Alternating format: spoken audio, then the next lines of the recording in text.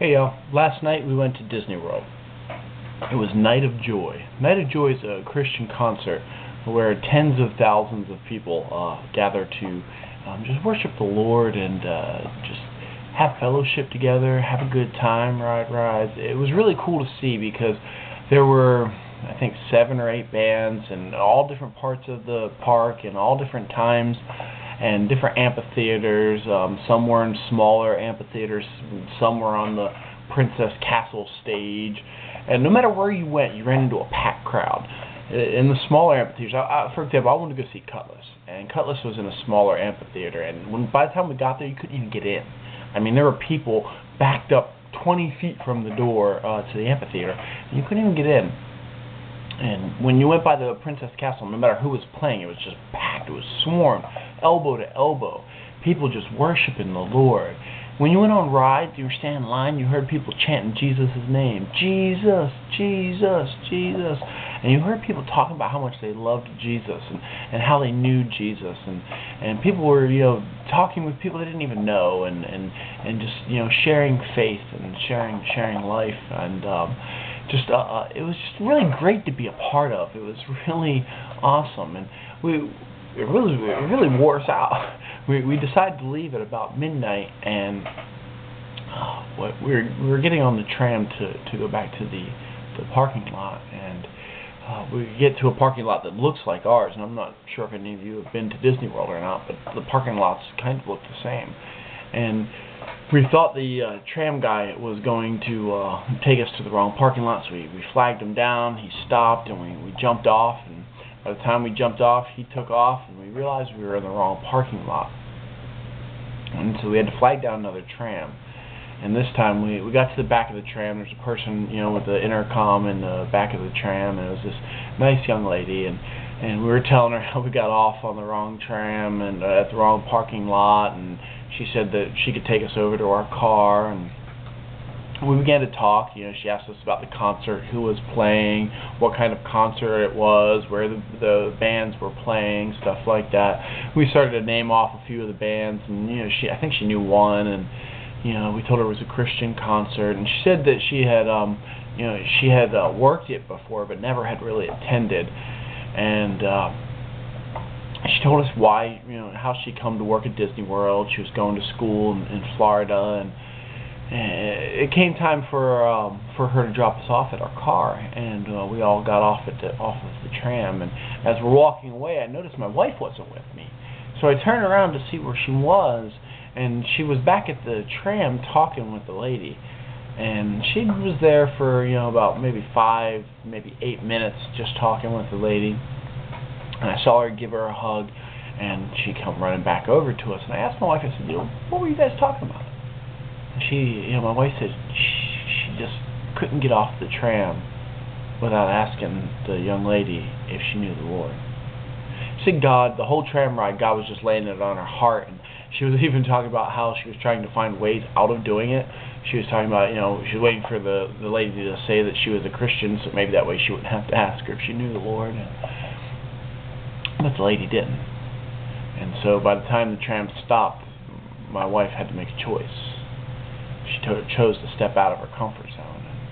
And she asked the lady if she knew the Lord. And the lady said she liked to say that she did. So my wife just shared a, about a personal invitation, um, asking Jesus to come and, and live within you. And, and uh, she, you know, she gave her a hug and told her Jesus loved her. She made sure to say, you know, not in a cliche kind of way does Jesus love you, but Jesus loves you so much that he prompted me to step out of my comfort zone to talk to you and to tell you that he loved you. And when my wife come running back, she had tears in her eyes, and, and the tram had to do a turnaround, so the tram actually turned around and come driving, you know, come and drove by us again, and, and we saw that the, the girl, as she waved to uh, my wife, had tears in her eyes and uh, my wife began to tell me about how she just couldn't get off the tram. I mean, Lord laid it on her heart so heavy. She couldn't get off that tram without asking this young lady if she had a relationship with the Lord. Now, get this, okay? Christian concert. People standing in line and standing in crowds talking about how much they love Jesus. And I wonder if anybody before my wife attempted to talk to that young lady. Myself included. Most of us just exited off the tram. It was just another end of the concert, end of the event for us. And we were happy to be going home because we were tired. But my wife had an ear for the Lord. My wife was willing and obedient to to do what he wanted her to do and and you know it, it just goes to show that you know, we can gather together in Jesus' name and we can sing songs and we can talk about how much we love Jesus, but are they just words? Are they just things that have become common to us? Oh, I got the Christian T-shirt on, and and I like the Christian music, and and I love to chant Jesus' name, and what does that make you do? Does it make you step out of the boat? Matter of fact, the youth group we went to called this the Get Out of the Boat event. My wife got out of the boat. She stepped outside of her comfort zone in order to share the gospel with someone she didn't even know, that she'd only met like three minutes prior. She touched someone's life because the Holy Spirit prompted her to get out of the comfort zone. You know, we never know who it is around us that needs to, to, to, to hear that love of Jesus, uh, or, or more importantly, to see and to experience that love of Jesus. Because it's one thing to tell somebody that Jesus loves them, it's another thing to show them. Too many, you know, in today's Christianity, in today's Americanized Christianity, to tell someone Jesus loves you has become almost commonplace. I mean, something we're supposed to do. Well, what about showing the love of Jesus? What about actually stepping outside of, of everything that we feel comfortable in? Because, I mean, I, I feel comfortable in telling somebody I don't know Jesus loves you, but am I comfortable enough to stop for 5, 10, 15 minutes and just share Christ with a with a stranger, a perfect stranger, after a long night at a concert when my feet are hurting, when I've got blisters, when my legs are tired, when I'm soaking wet, when it's all about me. I don't always.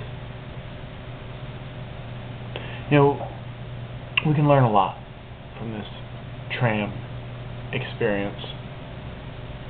But the most important thing is, the most important thing that we need to learn is that when we say we love Jesus,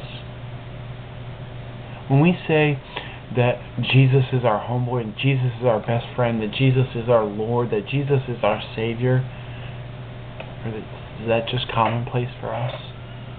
Or do those words move us out of our seats and into the lives of others? I love you guys. I'll talk to you later.